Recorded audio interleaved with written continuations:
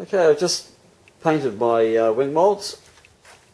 They don't look very pretty on this side, but hopefully they'll be right when I take them out of the, out of the mould.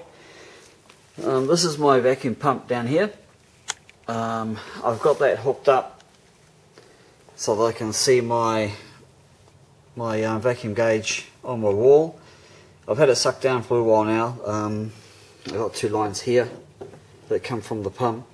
I've got them cramped off. Um, the reason why I cramp everything off and leave it sucked down without anything on it is just to make sure that my system hasn't got any leaks in it so I'm not chasing leaks in my bag when it's actually my system that's um, leaking.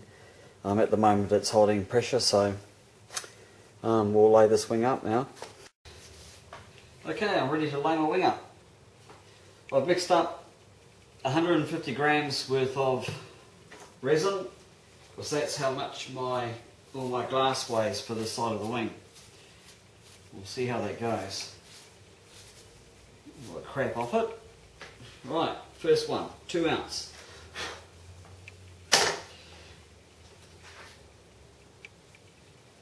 It was easy just to roll it up because it's, it's just easy to roll out when you put them in the mould. So I like to roll them up.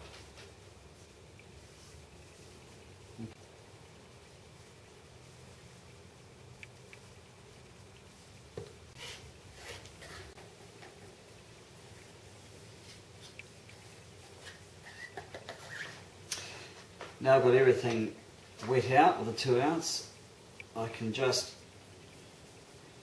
push and pull that um, the glass so that it's just down from the edge of my the front of my mould. It's quite easy to push and pull around because it slides quite well when it's wet. Drop my, my um, 4 ounce on there.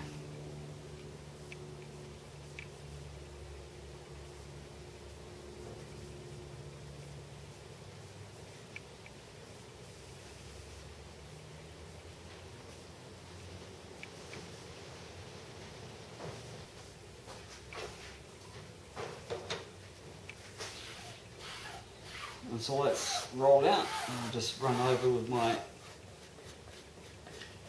my little laminate again.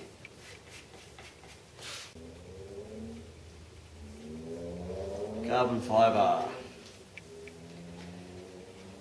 Put my first layer of carbon in.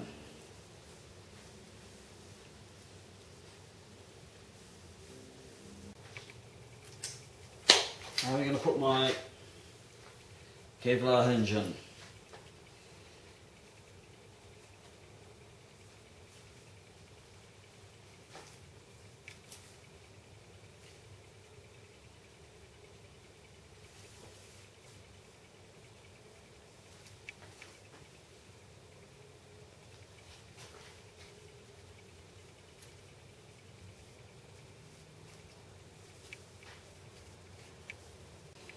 I know we I know the measurements to my to my hinge line, so I'm just going to put some quick marks on here, just as a guide to make sure that I get my Kevlar sitting in roughly the right place.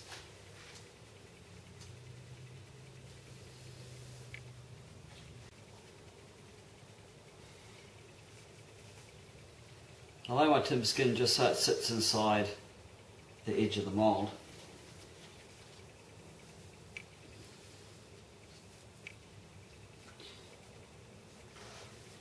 I can see that my Kevlar is just a little bit short here, so we'll push him up a little bit.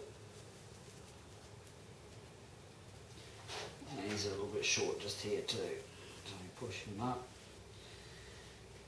If I can see Kevlar nicely through the whole slot where the ailerons are going to be cut in. Um, that's all good. Okay. Next, carbon tows.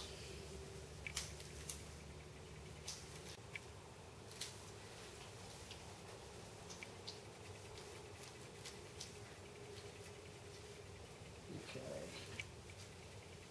Here's my first lot.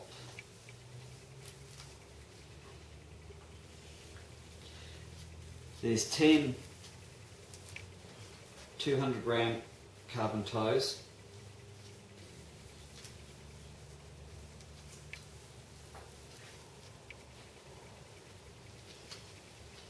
I'm going to drop another 10 in.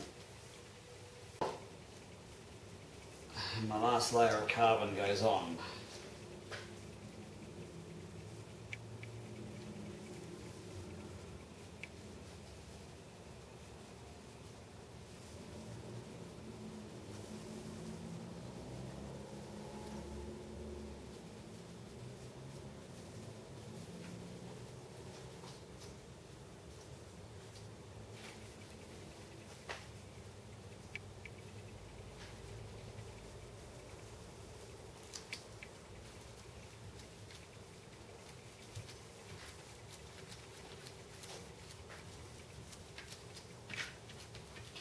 Now, if you probably noticed that you can still see where my ailerons are going to go. So I've stopped that carbon short. So I really, over my, I, I don't really carry it through because I know that I've got 200 gram um, Kevlar on there. So the actual, where the hinge is going to be cut hasn't really lost any strength. There's, I don't find as much point taking it right over my ailerons because it makes them too thick or put another piece across there but um, I'll show you how I do the ailerons when I come to join them together make them nice and stiff and strong. Now my last layer of 4 ounce which is going to go over the whole lot.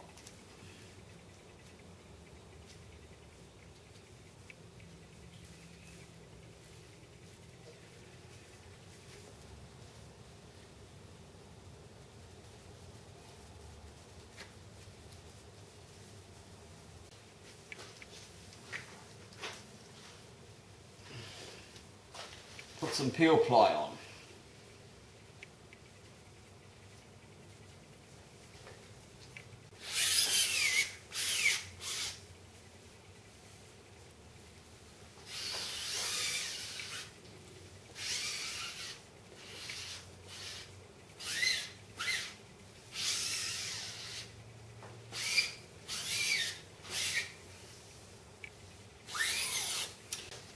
Once you've got your peel ply on, my perforated release film on there. This piece has been used several times. Paper towel.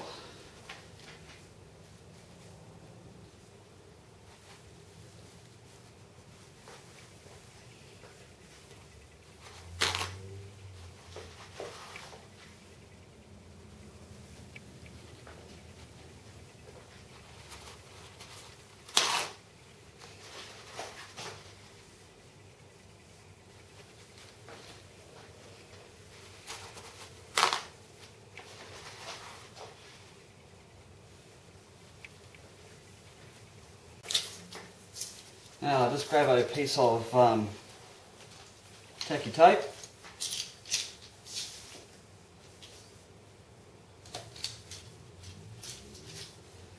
We'll put that on, on there.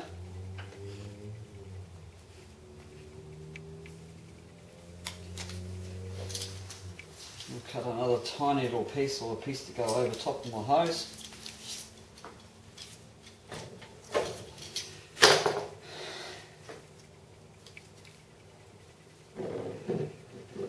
Bring my hose into my mould.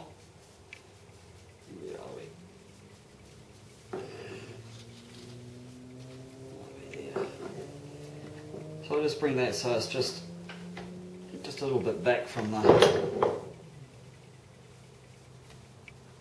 edge of my mould. Just wrap that around there a couple of times.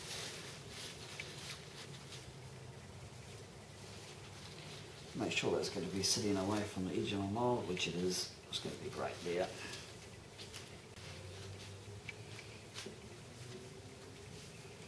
And just put a bit of tape on that to hold that in place.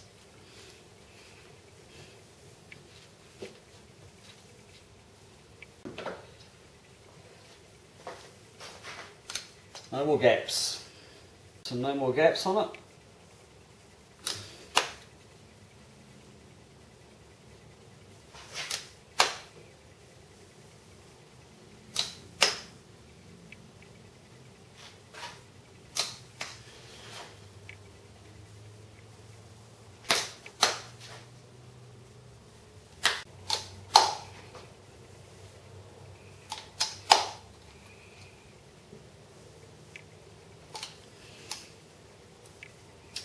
Put a bit of tie over the top of my pipe.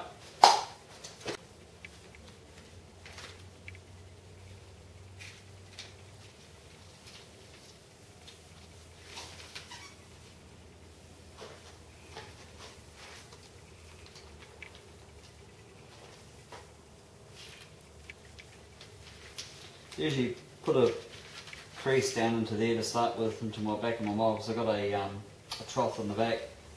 It always sucks down there and um, forms a, a leak. So I push that loosely down in there to start with.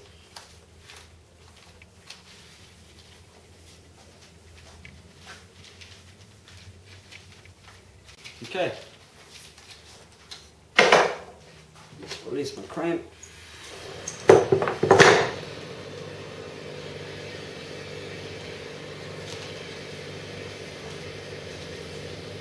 go. She's down.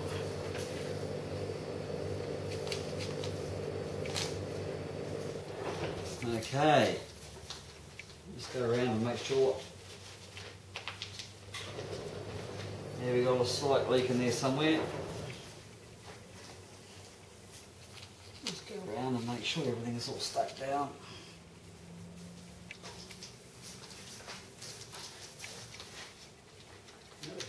Eh? Okay. Start to see the resin coming through my um, paper towel now.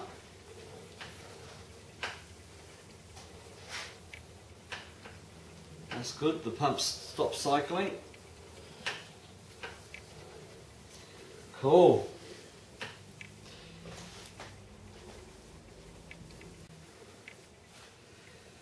Okay, so what I do now after I've got everything sucked down is I give it a CRC.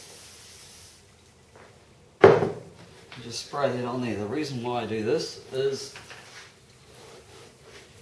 I like to take the end of my scissors and run it round all the edges of the molds and if I don't put CRC in there it heats up the plastic and um, got a chance of putting a hole in the bag. So CRC is just to help it slide.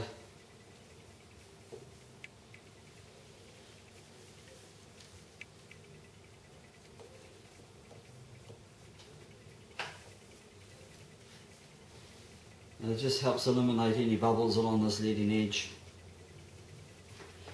And I also like to run it along where my timber ends just to make sure there's no bubbles trapped in between the timber and the layups. and on the edges of where my aileron cutouts are.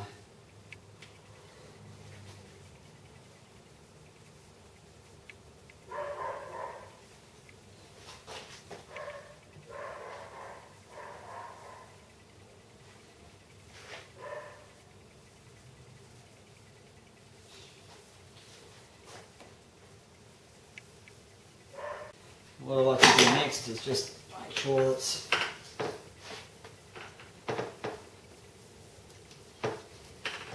everything's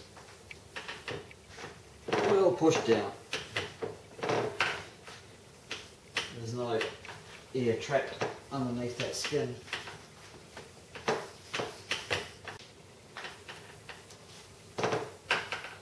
That's it. The other side's exactly the same without the Kevlar.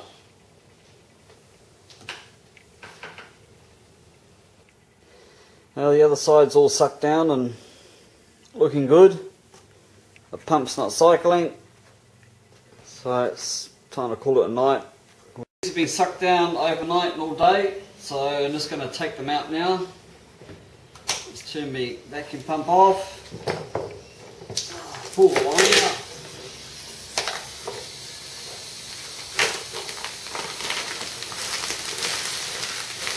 Take this plastic off.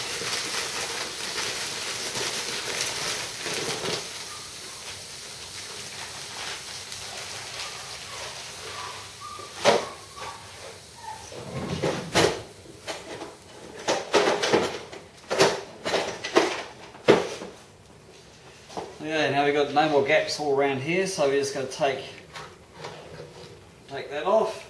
usually just stick it on top of there. I'm going to pull that off for the minute anyway.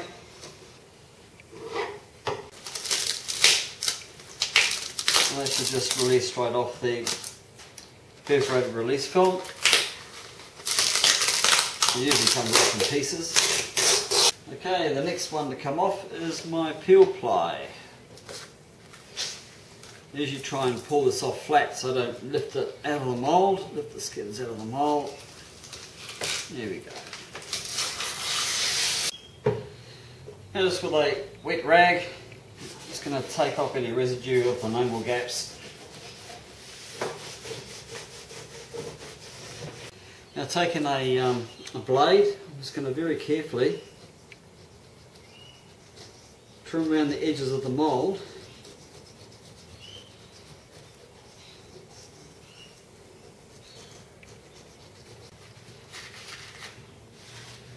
Now that I've trimmed everything up to the mould, I'm going to put some PVA mould release just around on this edge here. I know my moulds are quite seasoned now so I don't really need to do this but I'd rather do this than have my moulds stick together. I've got everything ready to go. I've um, taken my spars and I've CA'd them into place. They're actually quite firm, so they're not going to move around on me um, when I'm putting the wing together. I've got them on there dry, so I'm going to wet them up in the mould. I've got all my those um, triangles of leftover carbon from cutting the wing skins out. I've got all them ready to go. Um, you'll see where they go.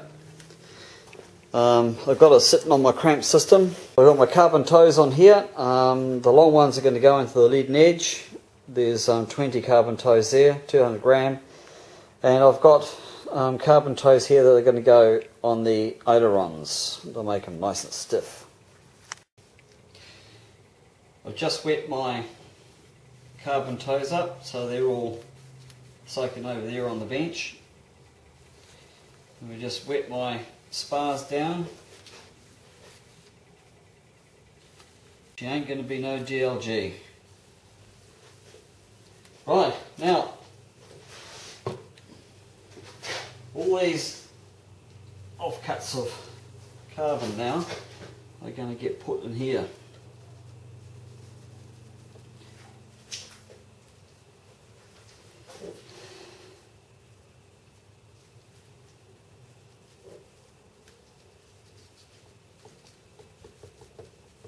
I'll just keep building it up until until I've got them all gone. So before I put my before I put my spluge on, I'll put these in. The carbon tows. I'll just set them up against that back of that spar there. It just helps add a lot of strength to that. Well, I got my spluge mixed up. It's it's runny, but it, it's it's firm but runny is what I would call it. So all we do now is just spoon that into there.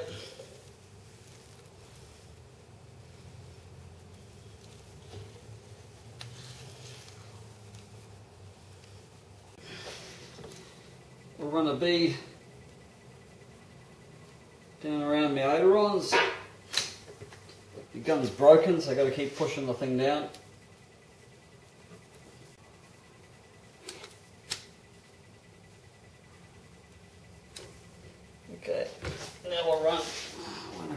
Around the top.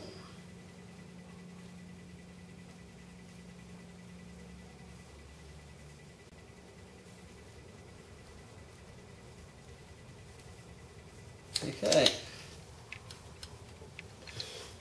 I'll just set that so it drips into that. Grab my other carbon tows and we'll sit them round from the tip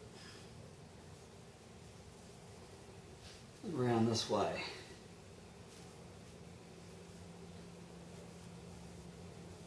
grab the another 20 carbon ties and we'll run it from this tip around the other way.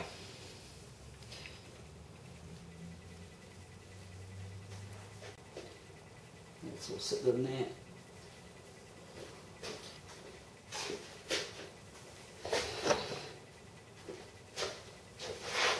Now we'll run, I like to run some sleeves along this aileron through here. So that basically just about makes that solid, solid splooge through here. And with that carbon tow and everything in there, it should make them really nice, rock and solid. Do the same on this one.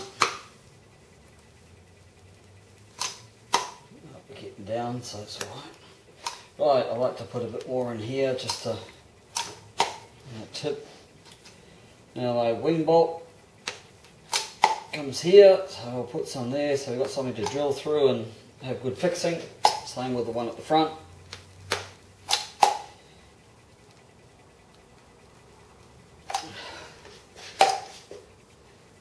I like to try and fill the tips up as much as I can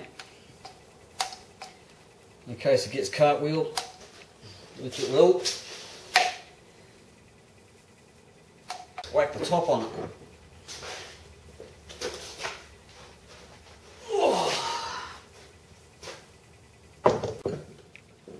Should feel those marbles drop into place. There she goes. Alright, let's get the get it cramped down.